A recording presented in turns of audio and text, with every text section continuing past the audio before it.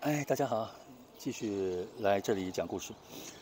有老铁说，在视频里面看不出来我的生活品质有多高。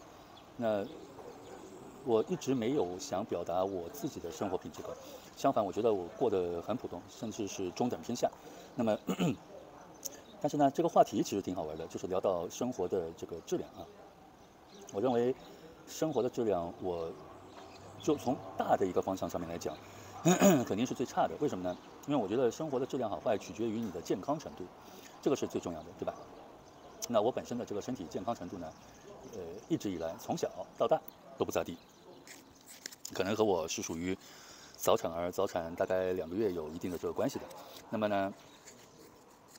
呃，除了身体健康以外，其他的生活品质，我认为好坏不重要，重要的就是当你想吃什么、想喝什么，你可以不需要去考虑的就买，呃，对吧？然后呢，人本身的这个欲望需求呢，虽然人的欲望无止境，但是活了一大把年纪了，这种不不切实际的这个想法肯定不会有了。就像比如说我，我爱跑车，对吧？那你说我梦想要一辆拉法，可能了？这这这也就想想。对吧？出生的时候有就是有，出生的时候没有，那基本上也就没有了，对吧？这句话其实是很有道理的。那呃，所以我也不知道从视频的哪一点来让人感到我自以为自己的生活品质高了，这个是让我很疑惑的啊。那我们其实换一个环境去生活，无非就是想呃，就属于那种在一个城市一个城市待活腻了。就去到另一个别人活腻了的城市，然后感觉自己很新鲜，因为周遭的环境变了。那么，周遭的环境变了，周遭的朋友变了，那么自然就变变得新鲜了嘛。那可想，比如说我如果生活在上海的话，那也就是可能一周 或者两周打一次麻将，对吧？四川麻将。然后呢，一周两周有一天可能会和朋友去聚餐，或者是闲聊聊天。剩下的时间，到了我这个年龄，大部分人都结婚了，要出来都是很难的一件事情了。呃，都有家庭有孩子，都得照顾家庭照顾孩子，甚至还要上班，对吧？所以聚的时间几乎没有，那怎么办呢？在呃无聊的情况下，那只能换一个环境，换一个城市，换一个国家去生活。那么到了这个国家呢，我为什么每到一个国家都喜欢和当地的老百姓聊天？就不管语言通不通，你哪怕用着手势，对吧？有时候大家进入一个场景，进入一个聊天的一个场景之后呢？对方哪怕说的词你听不懂，但是你大概能明白这个意思。这种境界，我相信，呃，在聊天的过程当中，大部分人都会有啊。所以，他说什么我听不懂，我说啥我说什么他听不懂，但是互相都明白意思，哎，这种感觉比较好。所以，这就是我对生活的一个品质的看法：住的舒服，吃的舒服，活的舒服，足够了。我就认为这个品质对我而言已经不错了，对吧？基于其他的那些身外物，比如说奢侈品。奢侈品，像我这种人买奢侈品嘛，也就呃十比二，对吧？十个包里面两个包假的，十件奢侈品里面也不叫奢侈品，就是大牌好吧？叫大牌，奢侈品买不起。我认为奢侈品，这么爱马仕以上的就算奢侈品，我一个都没有，就足够了呀。你就就拿质量而言的话，有些高仿的，对吧？质量还要比那种正品要来的好很多。至少我为什么会有那么多衣服啊、裤子啊、眼镜啊，就是质量太好了，想换也换不了。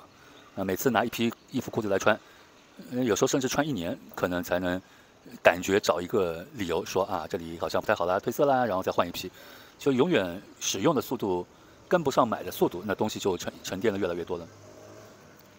然后碰到喜欢的，有时候会买相同的衣服，买个五六件、七八件这样子。那么呢，这就属于典型的有钱难买我愿意，对不对？然后呢，我发现其实在国外沟通的这个成本、时间成本是比较多的，但是呢，沟通的结果是比较愉快的。为什么？就是，呃，我有一个姐姐，这个算我妈妈的亲妹妹的姐姐，这个算表姐对吧？她在美国已经待了十几二十年了。然后呢，我就问她，我说你在那边待待了之后，呃。至少英文应该没什么问题了吧？包括她博士论文写的都是英文的。她说没用的呀，她说毕竟不是自己的母语啊。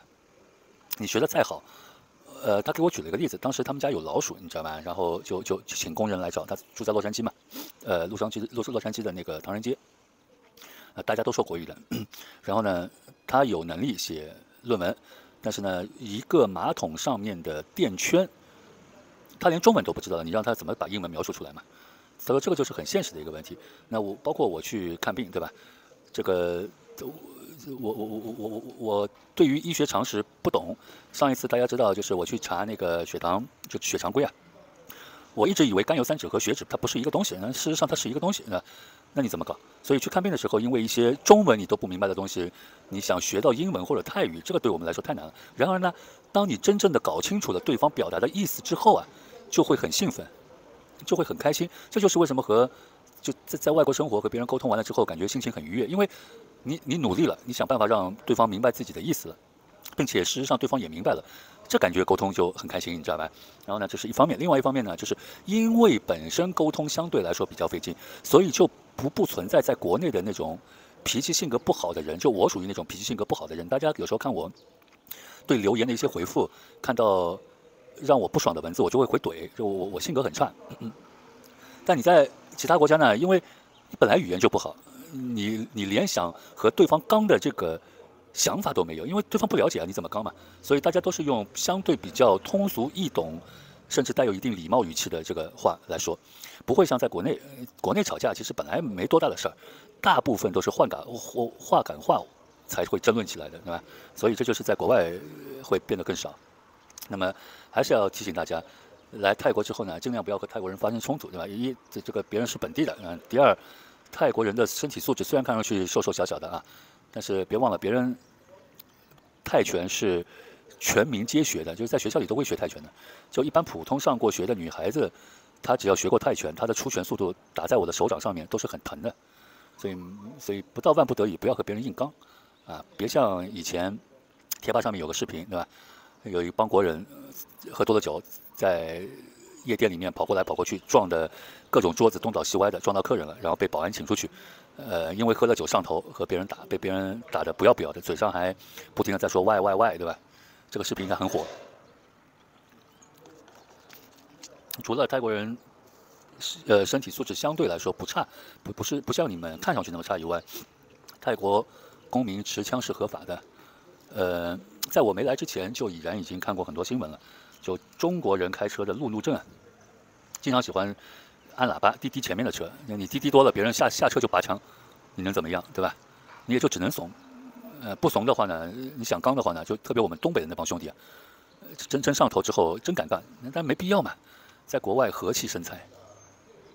啊，这就是我对大家要提醒提醒的一些内容，不要把中国的一些陋习带到其他国家，呃，被其他国家的人看不惯、看不起也就算了，关键自己要吃亏啊。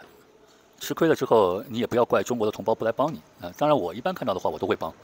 我以前的视频上面我就说过啊，那些呃，当时有一艘船去哪个岛啊，然后上面有两个应该是越南人或者柬埔寨人，然后呢，我们中国人知道上了船之后地上是湿的嘛，拿这个拿这个行李箱拖进来，直接放在椅子上。啊，放在椅子上，然后就很脏的轮子放在椅子上，然后边上的两个不知道什么国家的人就在那边说，就说你不要放在上面不好。然后呢，那两哥们呢脾气性格本来就暴躁，应该是山东人啊。后后来我了解到是山东人，本来就性格比较奔放，对吧？就和别人吵起来了。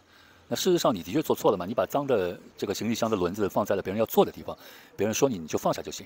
哎，不，他不爽啊，他觉得别人矮矮小小的不咋地。然后这这。结论就是这两个山东人被打得不要不要的，就一开始在船上还动手，下了船之后，别人直接呼朋唤友，叫了十几个当地的人拿着木棍追着打，你说有必要吗？对不对？我我我反正觉得，在国外住久了，我就越低调越好，干不过别人。现在我这个身体，别看身高一米八十八，随便一个人来推我一下，我就跟头已经翻起来了，对吧？根本没办法和别人吵。好，每天一期咖啡香烟加视频，今天的视频就到这里，大家拜拜。